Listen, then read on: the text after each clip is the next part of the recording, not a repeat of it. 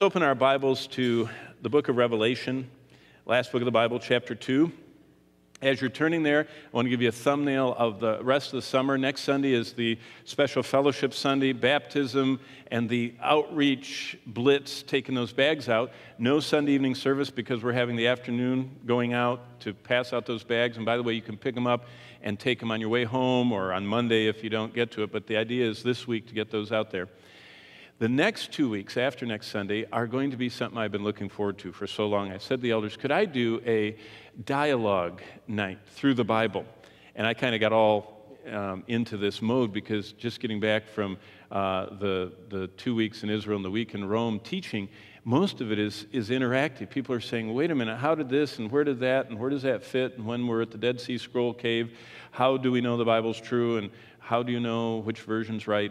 And that dialogue, where you use the scripture to guide people through, was Paul's chief teaching method for the church. He preached, but then he supplemented that with dialogue where you could ask questions. So they're preparing some kind of a big whiteboard because I talk best while I doodle. In fact, whenever I talk to people, I'm always taking notes and, and, and everything because I, as they talk, I write down the verses I think of when, when they're talking about whatever their question is, or, or, and that's how I work on a whiteboard. So the next two Sunday nights, the 24th and 31st, will be those dialogue nights. And, and it will be both write in questions as well as whatever ones uh, uh, taken from the floor. And we'll just have a good night. The whole evening service will be that after the music. Then after that, we're going to be going into finishing the, the tour of the Holy Land that I only got halfway through about four weeks ago. Plus, we're going to have the, the report, the on the ground report of what's going on uh, in Israel. Uh, we met wonderful with uh, Muslim evangelists, with missionaries over there. Uh, just it's amazing what's happening prophetically, biblically, culturally, and, and as far as outreach of the gospel.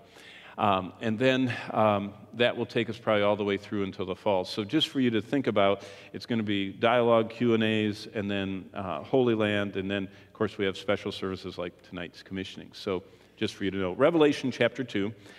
As you open there, we're looking at Ephesus, and we're examining just one thing this morning, and that is, I want you to think about this.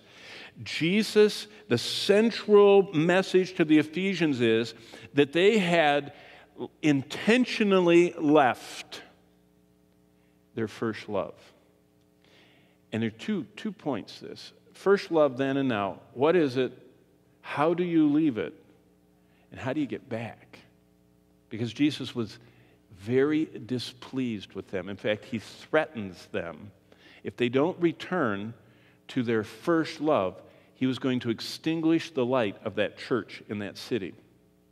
And church history has borne out that they didn't and he did.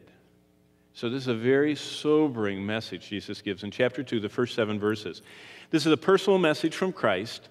It's a part of his last words to his church. If you remember, Revelation 1, 2, and 3 are Christ's final words to the church. The church is not mentioned uh, on earth after chapter 3. In chapter 4, we see the church in heaven. Chapter 5, we see the church in heaven. All the way through the tribulation, we see the church in heaven. And we see the Jews, again, being the missionaries and the people of God on earth during the tribulation.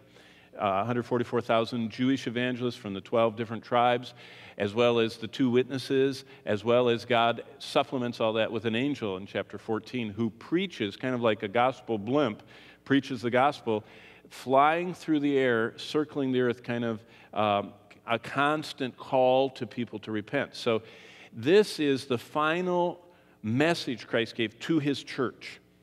And he divides it up into seven pieces, seven individual messages, where he points out listen, what it was that they had done wrong, what had messed them up from being the church that he wanted them to be.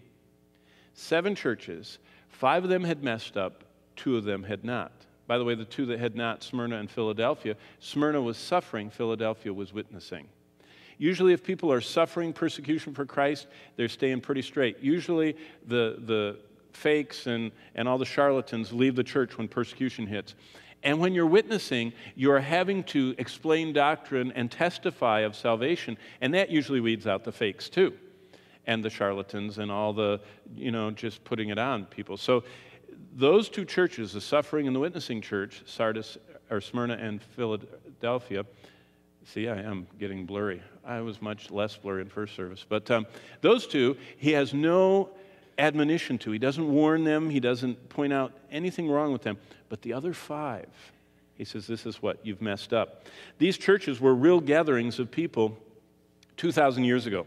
If you think about it, just like we're today, they were meeting just like we do today. They were celebrating the ordinances of believers' baptism, of communion. They were having the proclaimed word of God. In fact, the, the, the stars that you're going to see in a moment in the text that he's holding in his hand are the actual teaching elders of each church that were charged with, with faithfully presenting God's message from his word. So those were real gatherings, but because he picked seven churches, in effect, the Lord, and remember I pointed this out many weeks ago, every letter ends with the same little admonition He that hath an ear, let him hear what the Spirit says to thee, and it's churches, plural.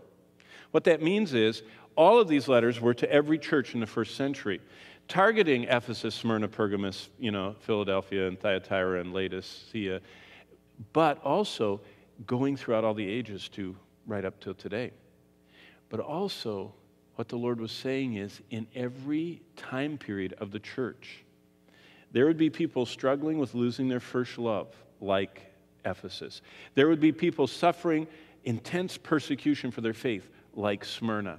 There would be people that were so worldly that Gallup uh, polling couldn't figure out that they're a Christian, like is happening in America today, that, that Christians have no difference between them and unsaved people. That's Pergamus.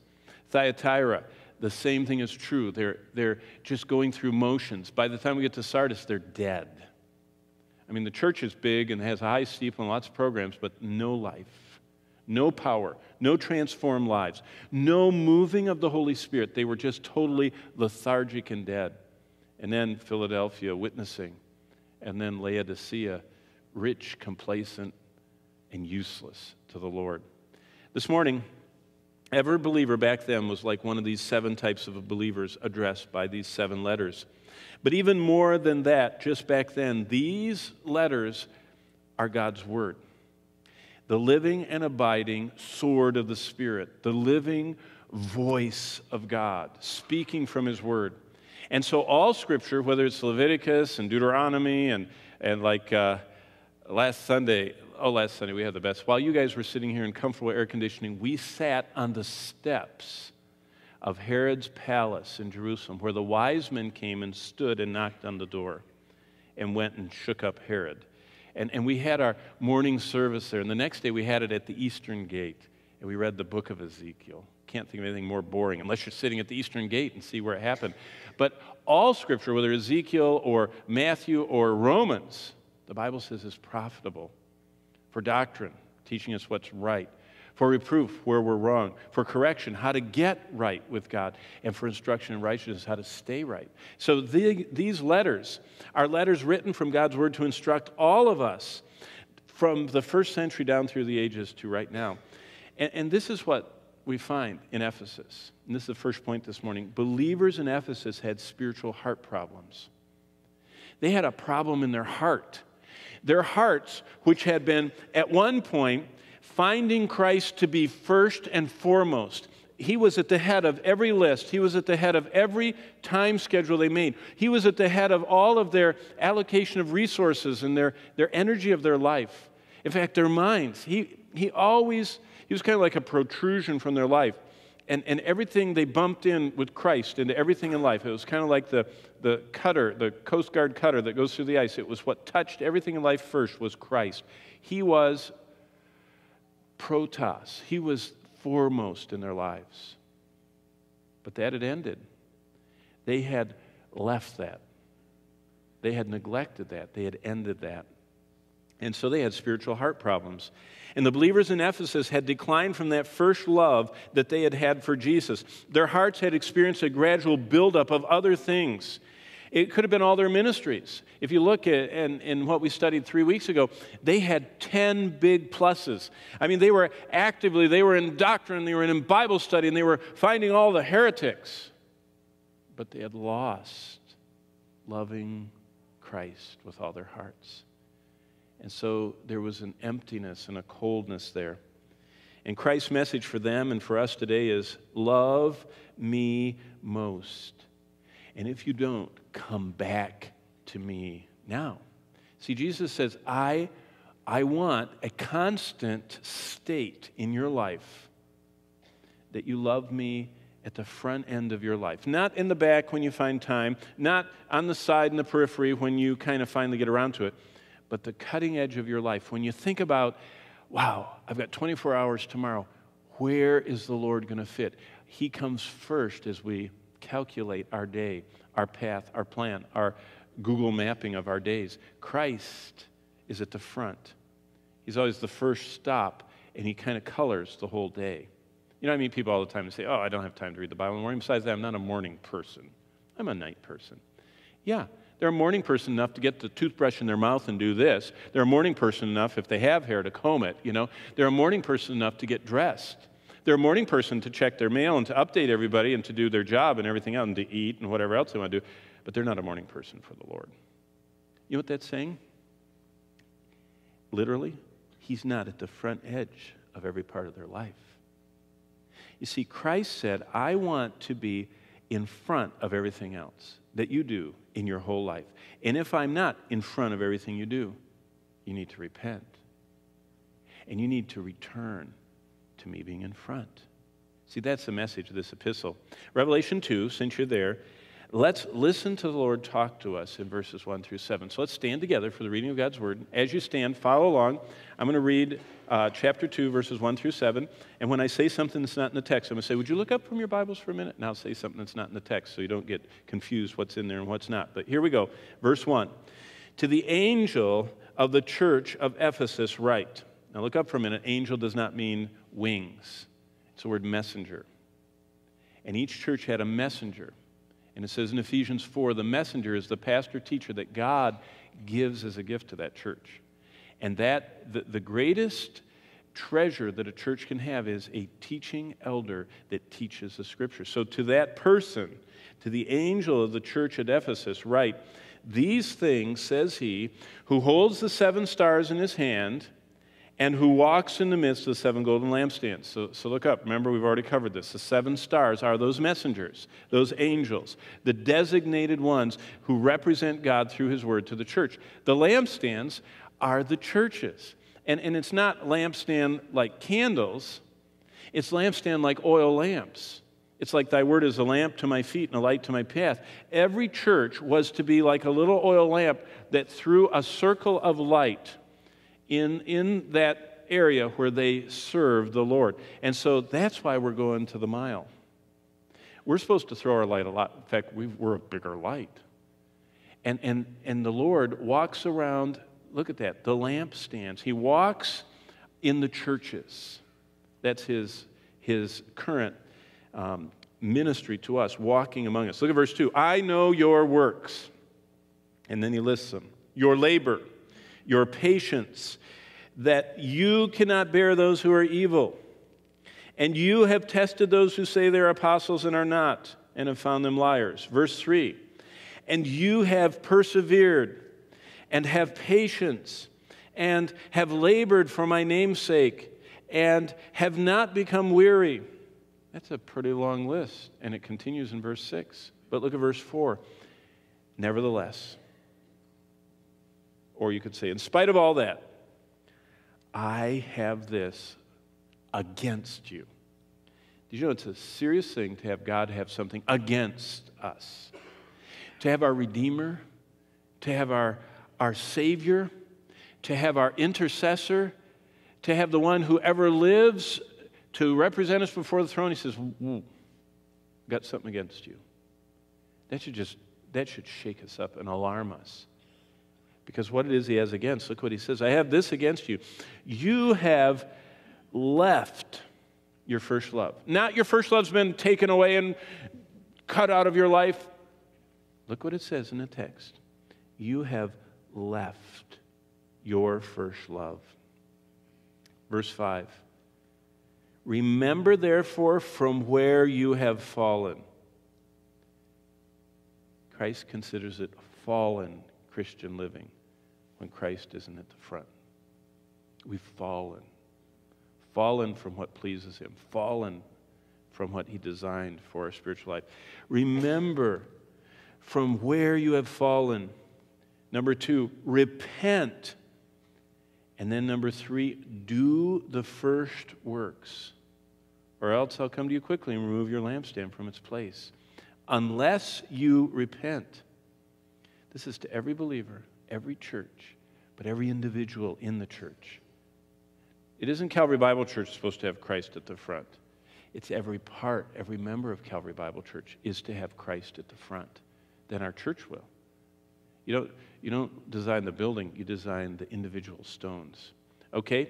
Verse 6. But this you have, here's another commendation you hate the deeds of the Nicolaitans, which I also hate. Pretty strong language. Verse 7. He who has ears to hear, let him hear what the Spirit says to the plural, notice, churches. That's to us today. To him who overcomes, I will give to eat from the tree of life, which is in the midst of the paradise of God, which is another way of saying you go to heaven, right? If you overcome, you get the tree of life, you're in the paradise, you go to heaven. So it's written to Christians. Let's bow for a word of prayer. Father, I thank you for speaking to us. Thank you that every time we open this book, you speak. Thank you that your spirit illumines and, and brings to life your words so that it, it can be quick and powerful and transformational in our lives. And I pray this day that first love, then, as we see it in the lives of these saints, and now we would look for it in our lives, will be our goal. And that no one will leave here today without seriously pondering whether you are foremost, whether you're at the front end of our time allocation, of our schedule, of our entertainment, of our plans, of all of our life. In the name of Jesus, we ask that. Amen. You may be seated. As you're seated, let me just pick up where we were. Um, we were we were actually on verse 4 when we ended last time. Verse 1 says, To the angel of the church of Ephesus, point number one is Jesus addresses them personally. This is not vague, this was an identifiable church. Why did he pick Ephesus? Why was Ephesus first? Well, there's several reasons. Ephesus was the second largest city in the empire. Um, Rome was one, Ephesus was number two. Ephesus was the first church that Christ dictated to because it was kind of like the de facto capital of the churches in Asia Minor. You would come to the port city uh, of Ephesus on the Cayster River, and then you would go in a kind of following the meander. You ever heard of meander? Well, the meander river flowed through this region. It meandered around the other six. And so that's why. Thirdly, Paul had his longest ministry there. Paul served three years, Acts 19. Paul served there three years. And finally, Eusebius, who you probably don't know because he's been dead for 1700 years, but Eusebius wrote the first church history. Uh, he was from Caesarea Maritima. And in the fourth century, which was a lot closer to the first century than we are, he said that at this time, Ephesus was swelling to 50,000 believers in the city of Ephesus. And remember, uh, Apollos was there, and then Paul was there, and then Timothy followed Paul and pastored, and the Apostle John was there. So we're talking about a galaxy of, of, of great teaching that they had. So, for those reasons, Jesus addresses them personally. But look at the end of verse 1. It says, These things says, and then Jesus, in every one of these letters, gives kind of his calling card. He says, I'm the one who holds the seven stars, and I'm walking around the churches. And, and, and he identifies himself as in charge of the message and looking at the impact of the message on the members, on the those who were associated with that. Now, in the first century, they didn't have church membership as we have it. You know, go to three classes and watch a video and, you know, stand up here and quote something. It was you associated with a body of believers, and they, they identified and saw Christ in your life, and you confessed him before the church in baptism, and then you shared communion with him, and you were always there, and if you weren't there, they knew where you were.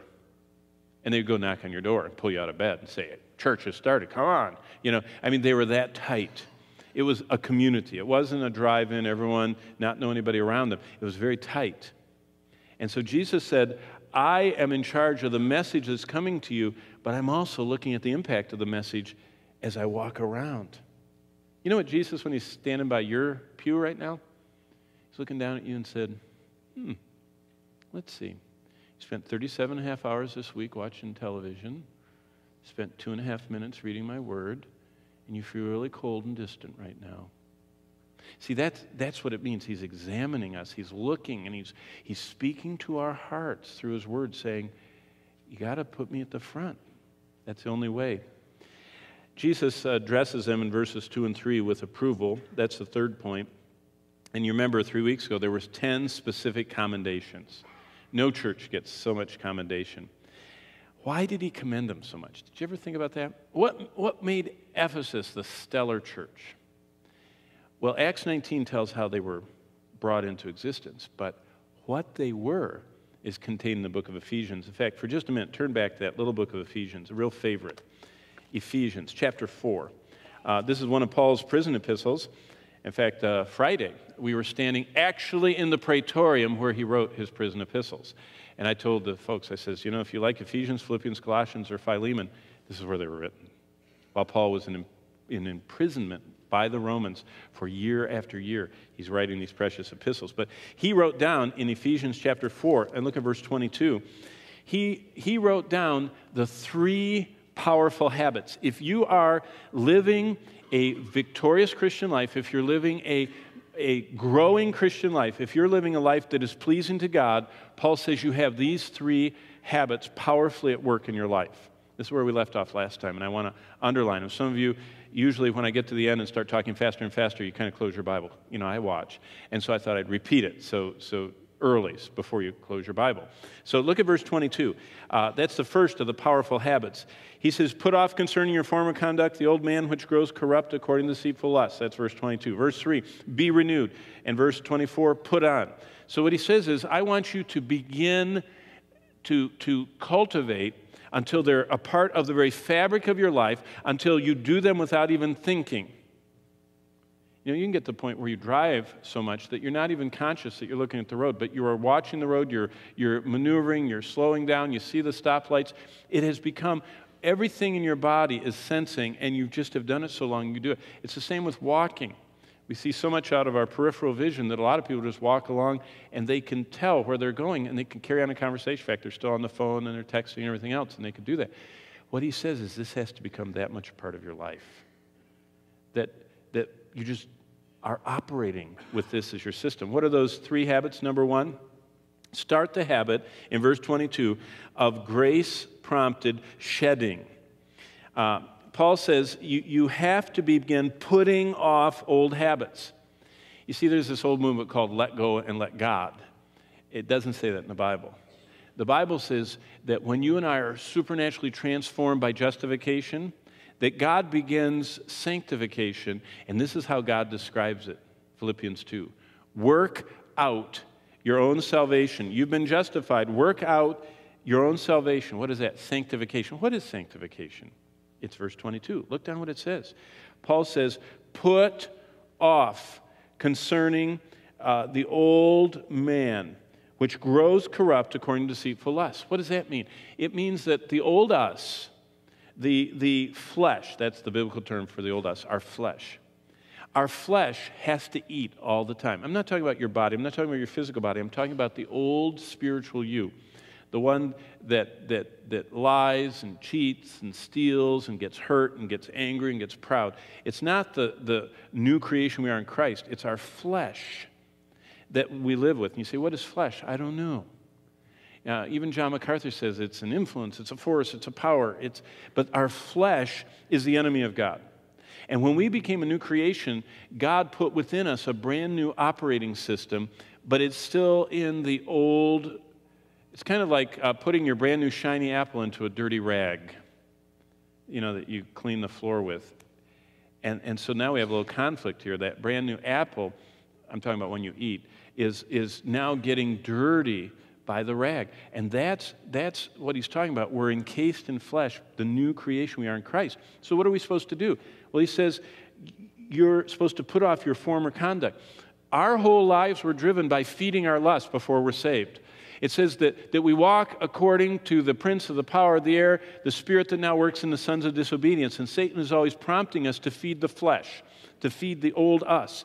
And so Our old us needs constant feeding, and it loves to be fed by television. It loves to be fed by, by all kinds of media that, that stimulates its fleshly desires less flesh, less the eyes, the pride of life.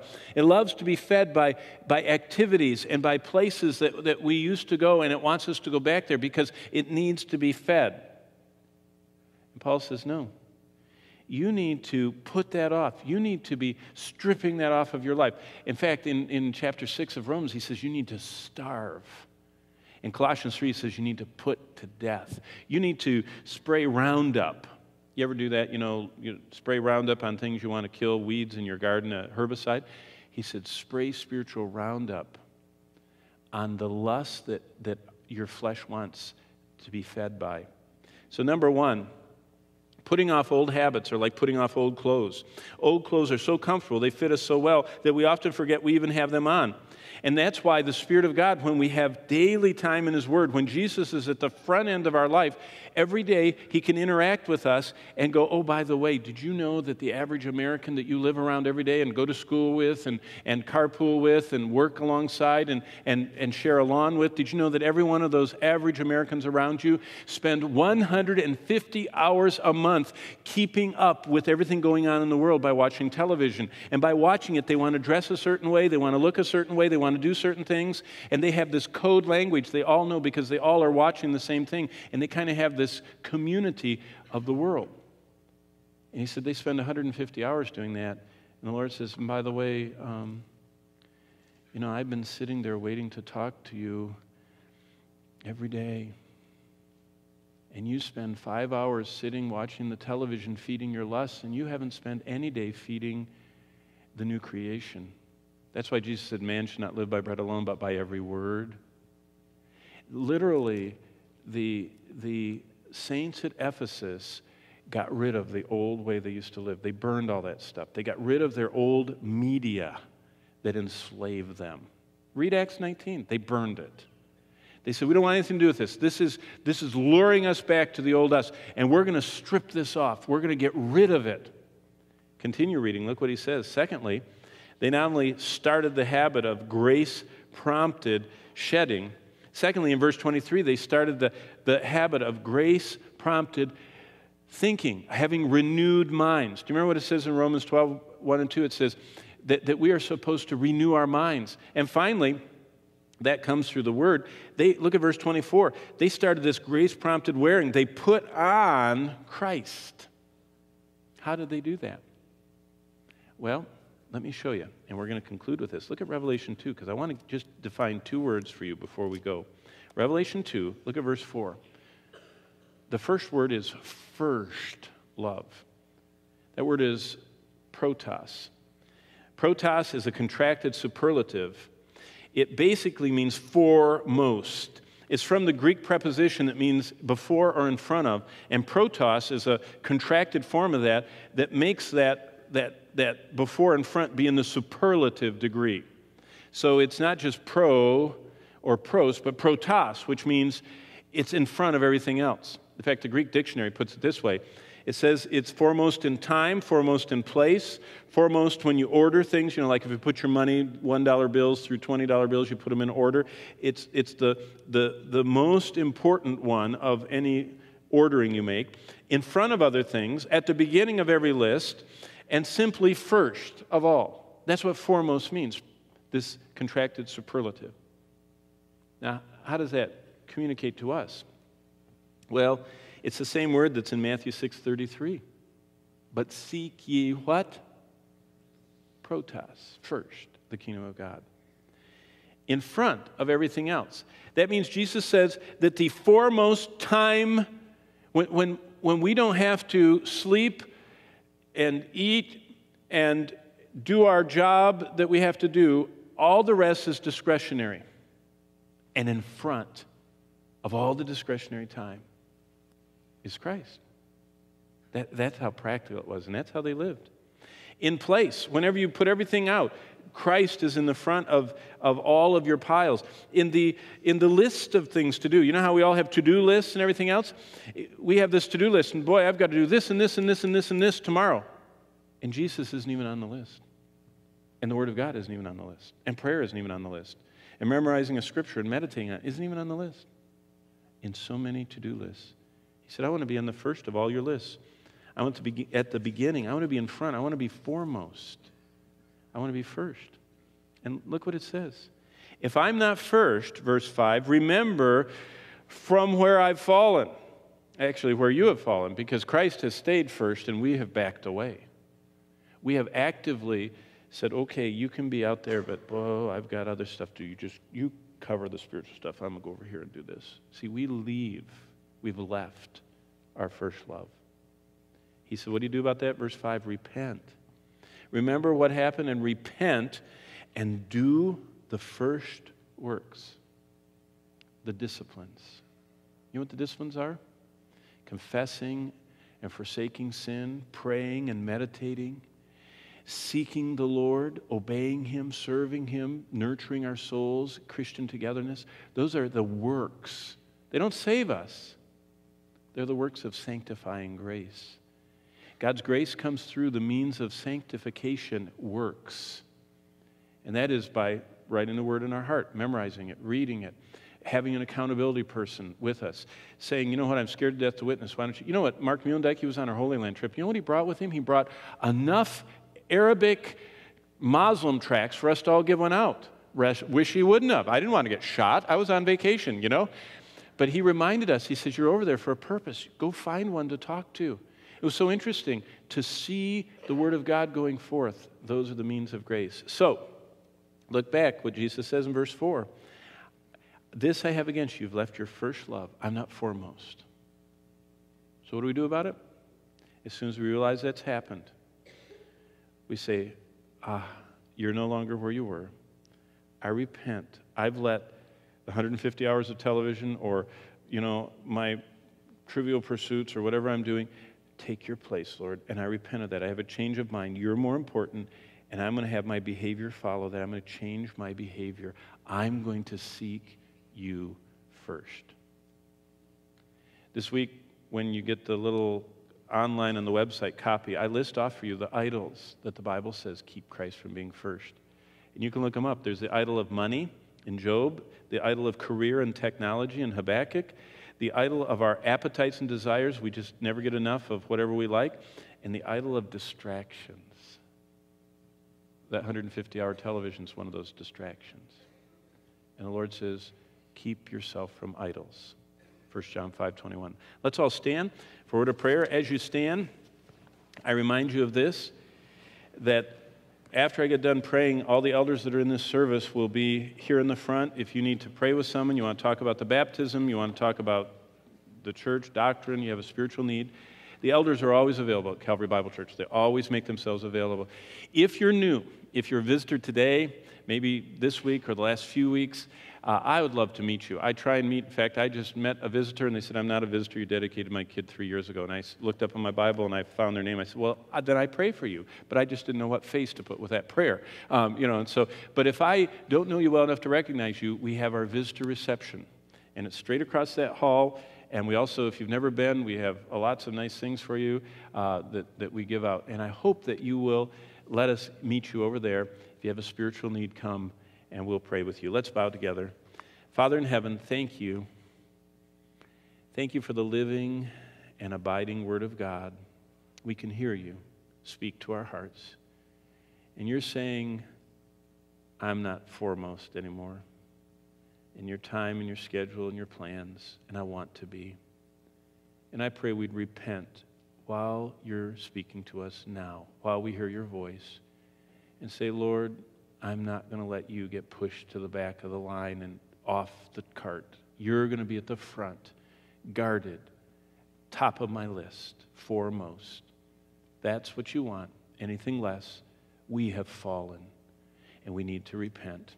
And we do, by your grace, in the precious name of Jesus, we pray. And all of God's people said, Amen. God bless you. you should go.